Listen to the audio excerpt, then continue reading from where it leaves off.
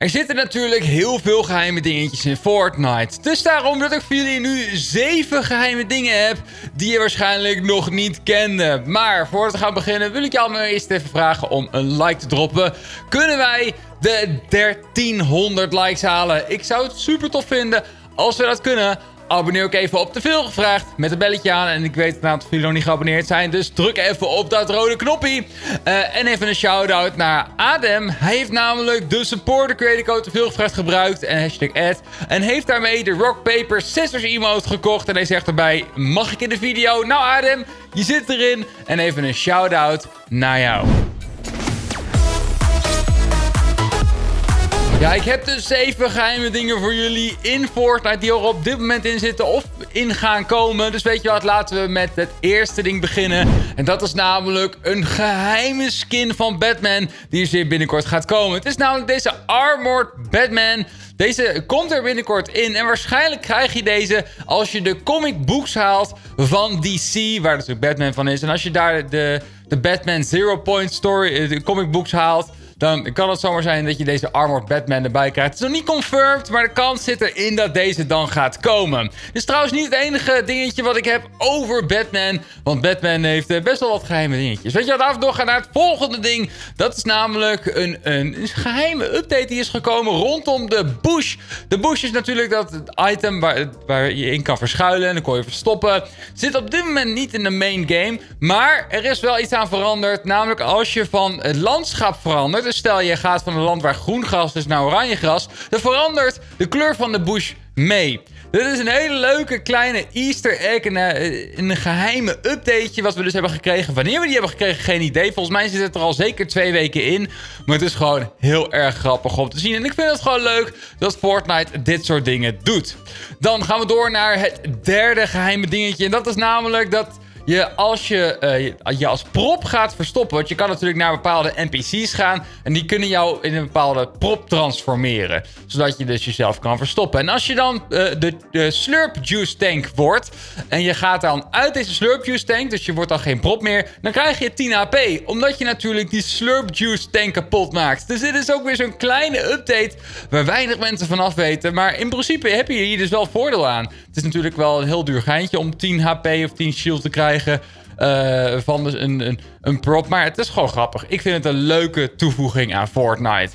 Laten we doorgaan naar het volgende ding. En dit heeft wat te maken met de storyline. Namelijk de autoradio. Die kan gehijacked worden. Ja, het is namelijk... Uh, Joan Jones die, die wil probeert met je te communiceren. En dat probeert hij dus op verschillende manieren. En bijvoorbeeld dus ook in die autoradio. Weet je wat? Laten we gewoon even kort luisteren naar hoe dat gaat.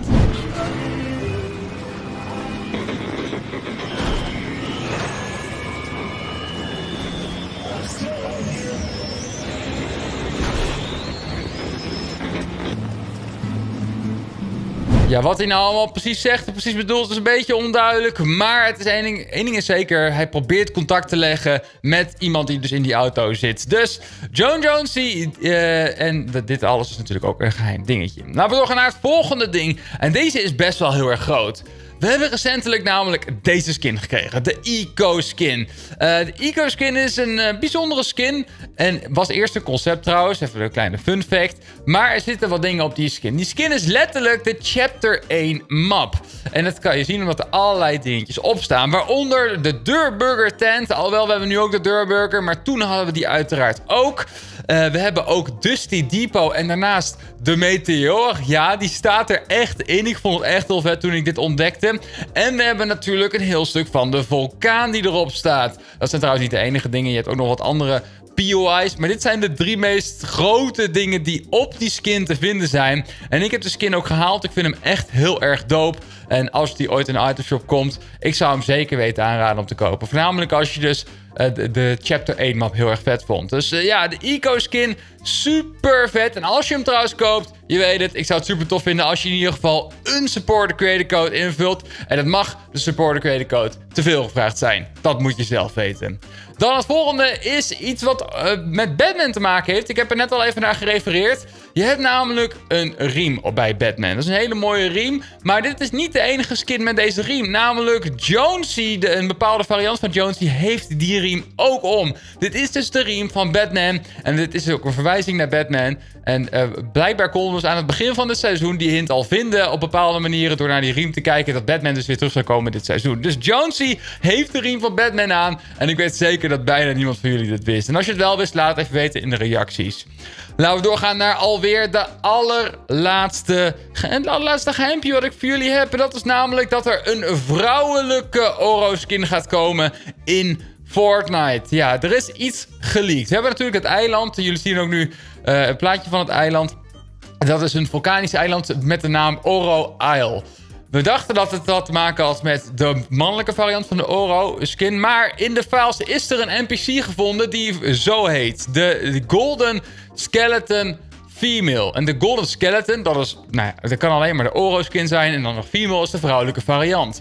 Op dit moment zit er geen uh, file in, voor zover we weten... Uh, met daarin de skin van uh, de vrouwelijke Oro. Maar het is vrijwel 100%, 100% zeker. We gaan op het eiland een, in ieder geval een NPC krijgen wat de vrouwelijke uh, variant van Oro is. En waarschijnlijk, hoogstwaarschijnlijk, gaat het dan ook weer in Fortnite komen als een skin. Weet ik bijna 100% zeker. Dus ook dit was weer zo'n leuk geheimpje. Wat je niet per se in de game zelf kon vinden. Want dit zijn leaked files die op Twitter zijn geplaatst. Uh, maar ja, ik, vond, ik vond het wel heel erg grappig toen ik dit las. Ik vond het echt een hele leuke, heel, heel, leuk geheimpie.